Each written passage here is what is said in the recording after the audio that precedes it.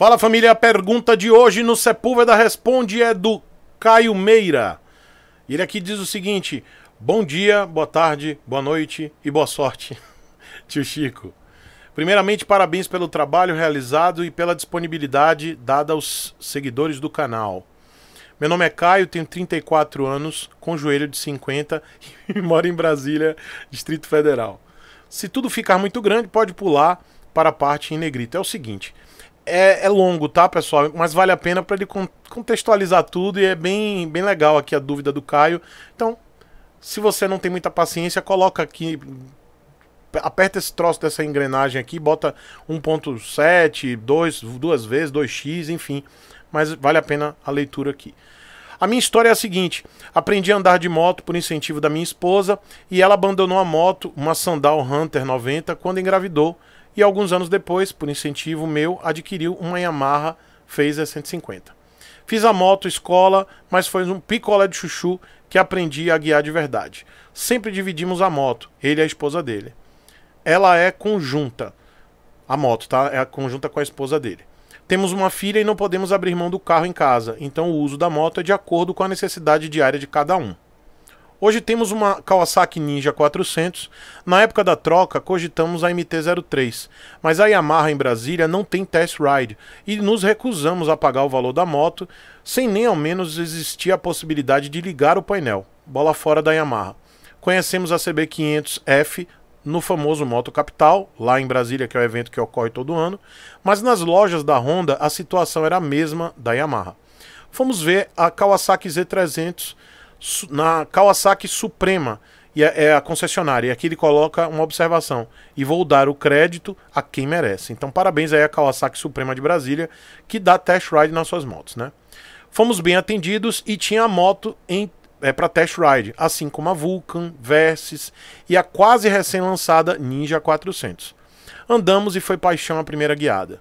Para quem estava acostumado com 150 cilindradas, a moto não vibra, anda bem, freia bem, nada a reclamar. Quando precisei da garantia, fui bem atendido. A moto na minha mão, com o trânsito daqui de lá de Brasília, consome em média 28 e 29 km por litro. A patroa, com o espírito de pateta motociclista, é aquele desenho do pateta, né? Que ele fica no, no trânsito. Ele coloca aqui com a mão mais pesada, mas com respeito ao trânsito, consome 25 a 24 km por litro. Tudo isso na cidade. Mas, porém, contudo, entretanto, todavia, o uso é quase diário. Mas quando queremos dar, andar juntos, a briga é para quem não fica na garupa. Dura igual a um cabrito. Dá para falar a marca do palito de dente se passar por cima de um asfalto. Por isso evitamos. Aí tá falando que a garupa é péssima, tá, gente? Também. Por isso evitamos passeios longos e revezamos a garupa a garupa para não sofrermos. Então assim, eles estão admitindo aqui que a garupa da, da Ninja 400 é, não é legal, não é confortável. A moto é ótima, mas para o nosso uso conjunto se tornou inadequada.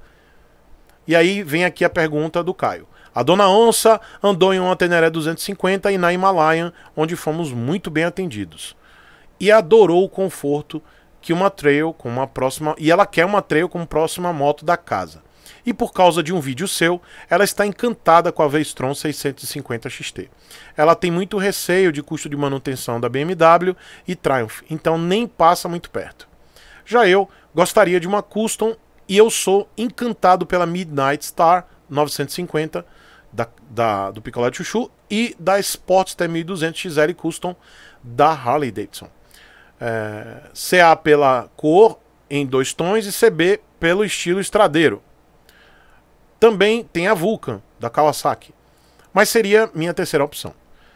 Pesa contra e amarra a falta de ABS em uma moto tão grande e ele já foi essencial na Ninja contra a Sportster 1200 e o receio da manutenção ser muito acima de uma Midnight Star ou V-Strom. Eu particularmente não sou fã de Big Trail, mas admito que é até difícil encontrar alguém falando qualquer coisa contra a Suzuki. Enfim, a Suzy seria uma moto zero, a Harley semi-nova, mas já ciente que daria uma revisão, gera, uma revisão geral e que talvez precisasse investir em algo com acessórios para conforto da garupa. O trânsito aqui é bom em relação às outras capitais. Os carros têm costume de abrir caminho para motos maiores e os corredores são largos por natureza. Então acredito que tamanho não atrapalharia, pero no mucho. E agora, José. Ele bota Chico. Abraço, sucesso e continue firme e forte na caminhada, Caio Meira. Caio, adorei seu, seu e-mail aqui, super descontraído. Galera, mandem a dúvida de vocês por e-mail, tá? falecom.chicosepulveda.com.br Fica até melhor por e-mail, porque dá para fazer uma leitura bem melhor do que se vocês colocarem nos comentários o hashtag Sepúlveda Responde. Então, mandem suas dúvidas do Sepúlveda Responde aqui para o meu e-mail, falecom.chicosepulveda.com.br Vamos lá, Caio. Já de antemão, mesmo que vocês tenham sido super bem atendidos aí em Brasília, eu descarto a Himalayan. A Himalayan não é uma moto confiável. E aí eu digo a Himalayan, eu não estou falando Royal Enfield. A Himalayan é uma moto que aqui no Brasil só trouxe problemas. E aí eu vou ser bem, bem incisivo com você, dizendo, cara, essa moto ela não tem mais. Eu, eu, não acredito mais na solução dessa moto, pelo menos aqui no Brasil. E vocês verão aí a partir de 2022 várias bombas explodindo aí no colo da Royal Enfield de pessoas insatisfeitas por terem suas motocicletas fora de garantia e dando problema de cabeçote, vários probleminhas que até então não ocorreram antes da garantia e quando se perde a garantia vai pipocar um monte de problema e vocês verão. Escreva o que eu estou dizendo. Várias pessoas insatisfeitas com as Himalaia que até então super satisfeitas, tá? Mas quando acabar a garantia e não houver mais troca de cabeçote, que é caro, tá? Fora da garantia, aí vocês verão várias pessoas insatisfeitas com a Himalaia, que aqui no Brasil não deu certo. Somente no Brasil, porque a gente ainda não tem certeza porque a marca não se posiciona. Então, Caio, não vá de Himalaia porque é barril, cara. Até o momento, não recomendo. Uh, qual foi a outra que você falou aqui? Que você disse que estava pensando fora Himalaia, você falou na Teneré 250. Para vocês dois, não, não recomendo, porque eu já percebi que vocês já estão acostumados com a moto de 400 cilindradas, com mais potência, principalmente para para ultrapassagens, vocês gostam de viajar em conjunto, então eu não recomendo a Teneré porque vocês já passaram dessa barreira aí e vocês fazerem esse downgrade aí seria um pouco frustrante para a experiência de vocês descer para uma moto de 21 cavalos e que é aquela coisa devagar e sempre. É, mesmo ela sendo confortável para você e para sua esposa, vocês revezando aí a garupa. Mas eu não recomendo essa moto, eu acho que para vocês vai ser frustrante a experiência. E aí é uma visão minha, tá? Mas vocês perdem em, em velocidade, em torque mas vocês ganham no, na economia. Mas eu acho que não é o foco de vocês isso. Eu acho que vocês querem uma moto para viajar né, para que vocês possam curtir a moto em viagens na, de, e, e revezando a garupa. Vamos lá. Harley Davidson, a Sportster 1200 XL. Eu não recomendo para vocês dois, mas não recomendo mesmo, porque é uma moto extremamente desconfortável para garupas. A, a, a, linha Sportster não é legal para garupa. Isso eu sempre cravei aqui no canal. Eu tenho uma, uma Iron 1200 e eu digo, qualquer Sportster, ela não é confortável. Claro que tem pessoas que rodam com garupa, que curtem, mas eu tenho certeza que se elas tiverem experiência numa moto mais confortável, exemplo de uma Softail, eles vão tirar esse pensamento de que vale a pena rodar numa 1200, numa Sportster 883 ou 1200 com o melhor banco possível mas não não é confortável, tá? É, mesmo que a suspensão da, da nova, vou dar exemplo aí da nova, da minha, que é uma 1200, que tem uma suspensão aí melhorada, aperfeiçoada, mesmo assim ela continua muito desconfortável para a garupa. Então eu acho que você vai ter um gasto muito alto adquirindo uma Sportster para você e sua esposa terem aí problemas com a garupa, problema de dor na lombar, problema de chegar ao fim de curso, problema da moto ser muito baixa, vocês terem dificuldade de passar em quebra-mola, problema de buraqueira na viagem. Então, não aconselho nenhuma Sportster para vocês dois. Não é legal. É um investimento que vocês, em pouco tempo, ficarão extremamente arrependidos. Então, é melhor vocês comprarem uma moto com um tiro certeiro, fazendo uma, uma bela compra para que vocês fiquem muito tempo com essa moto e que o dinheiro aplicado, né, o dinheiro investido nessa moto, e eu estou falando de investimento não de retorno financeiro, tá, pessoal? Quando eu falo é, comprar uma moto, tá? Porque a gente sabe que moto é bem de consumo e não é patrimônio de investimento, né? Não é mesmo. É, então, eu acho que é uma furada vocês comprarem, mesmo que você goste de uma Sportster, eu acho uma furada. Você fala da Midnight 950, ela já é mais confortável do que a Sportster, é, realmente, mas ela tem um preço de manutenção, custo de manutenção muito alto, e aí vamos comparado a uma Vestron 650. Ah, qualquer custom, qualquer moto custom, ela tem um preço muito alto quando você compara com uma, uma Big Trail, ou quando você. E aí digo da mesma categoria de cilindrada. Toda custom vai ter um custo de manutenção mais alto, custo de peças maior e menos conforto do que uma Big Trail ou até mesmo uma crossover. Então eu também não recomendo a Midnight 950. Não por ela não ter qualidade. E é a mesma coisa eu falo da Sportster. Ambas as motocicletas, elas são muito duráveis, são feitas para durar muitos anos, não são motos descartáveis. É, e digo também da, da Midnight, se você comprasse só para você rodar, eu diria, cara, vai fundo, porque é uma moto extremamente durável e robusta. Ela tem uma transmissão também, igualmente como a, a Sportster, ela tem uma transmissão por é, correia e é uma moto aí com motor muito durável e é uma moto confiável. Mas cara, para vocês dois com garupa não é o mesmo conforto de uma crossover ou uma trail. Eu estou falando isso com conhecimento de causa. Repito, moto custom ela é muito interessante nesse tipo de moto, tirando as touring, as custom touring, as cruiser que tem um perfil mais touring, elas são mais motos solo né, e para passeios esporádicos com garupa. No caso de vocês dois, eu sei que vocês gostam de viajar juntos. Então eu estou falando com muita certeza que vocês vão se arrepender desse tipo de compra. A não ser que vocês tivessem mais grana para investir numa Electra Glide ou uma Ultra, enfim, uma moto é, mais robusta, mais parrudona, que tivesse um perfil Touring. Não é o caso que vocês estão buscando. E aí vamos para a opção mais viável aí para vocês dois. E não é puxando sardinha porque eu tenho uma moto ou porque eu sou patrocinado, é porque eu, eu conheço bem essa moto. E eu digo para vocês, ela tem alguns pontos negativos que eu vou citar aqui, mas pontos positivos dessa moto. Ela vai dar um conforto muito bom para vocês dois. Essa versão XT, ela tem controle de tração, diferente de todas as outras que você citou. Ela já tem uma segurança, que é um controle de tração. São dois níveis, que é o normal e o rain, chuva. E o desligado, modo desligado. E ela tem freio ABS e tem um sistema de partida, de assistente de partida, que ela dá uma leve acelerada quando você está no trânsito. Então é bem interessante isso, não deixa a moto morrer. E quando você está em baixa velocidade, ela dá uma leve acelerada, isso é bem legal quando você está no meio do engarrafamento. E é uma moto até básica, não tem tanta eletrônica embarcada, uh, diferente aí de uma Triumph, de uma Tiger, de uma Triumph Tiger ou de uma BMW que eu não recomendo exatamente porque sua esposa está certa, ela entende aí que a, a, o valor de manutenção é absurdo, é estratosférico.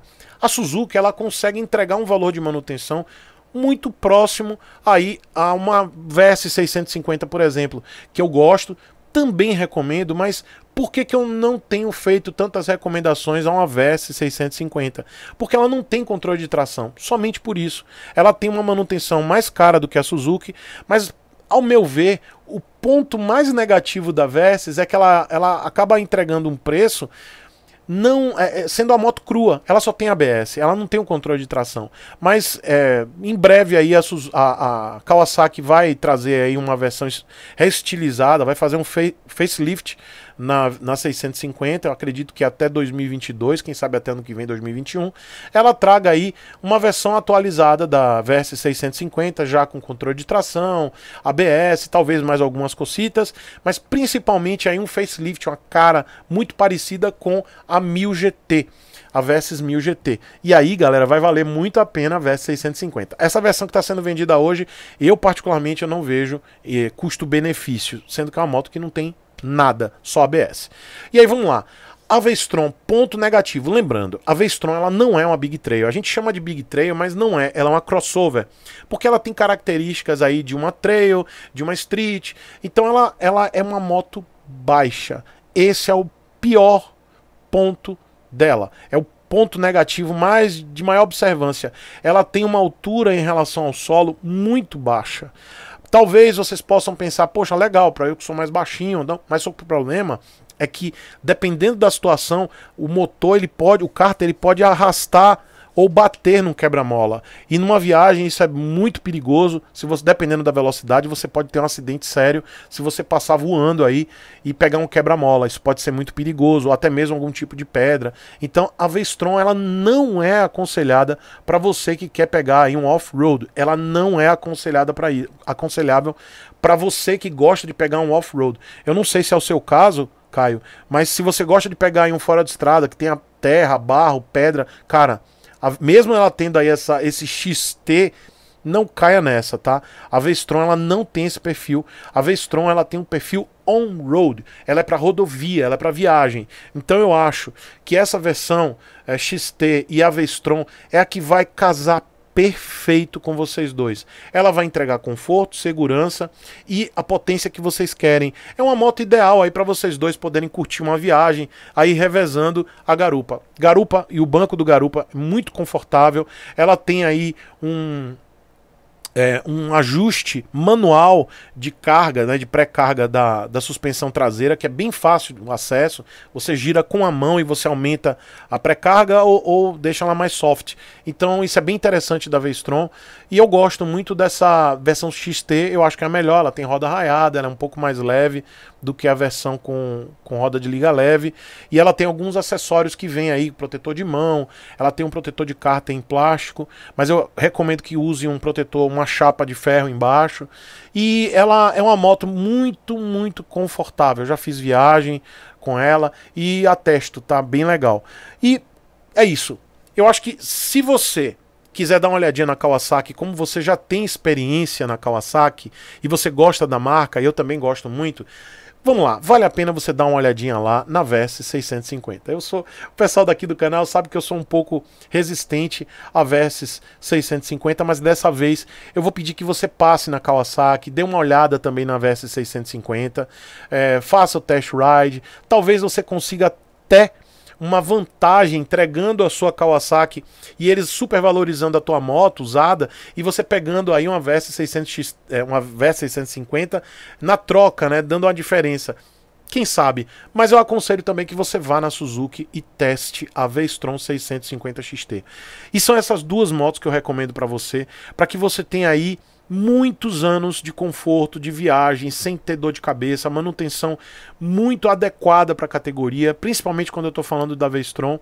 É um motor extremamente durável, não vai dar dor de cabeça com a manutenção, que eu não vou dizer que é barata, mas ela é adequada para a categoria. Diferente, por exemplo, se você fosse pegar uma BMW ou uma Triumph.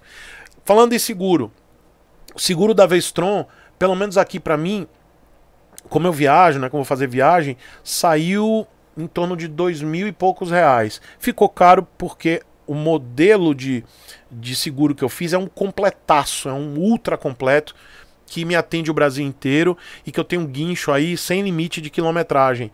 Então é um seguro bem apropriado para quem faz viagens longas. Mas claro, se você entrar em contato com a BNP Seguros, que está aqui na descrição e é patrocinador aqui do canal, você vai fazer uma cotação antes mesmo de você tirar a moto zero, pode fazer a cotação, a cotação com o Renan ou com o Jonas e você vai ter desconto de inscrito. Então vale a pena você fazer a cotação tanto para a V-Strom quanto para a Versys. Você vai ver que o seguro de ambas vai ficar bem em conta, bem mais interessante até do que uma BMW, do que uma Triumph, até mesmo do que uma Custom. Ah, outra coisa, você citou a, a Vulcan 650. Eu não aconselho. Vai cair no mesmo problema das outras Custom que eu falei, o conforto tá? Mas conforto também é uma questão de opinião. Mas lhe garanto que uma crossover é bem mais interessante, bem mais confortável do que uma custom, tá bom? Então, eu deixo essas duas sugestões aí para vocês. Uma Vestron 650 XT como primeira sugestão e segunda opção, uma VS 650.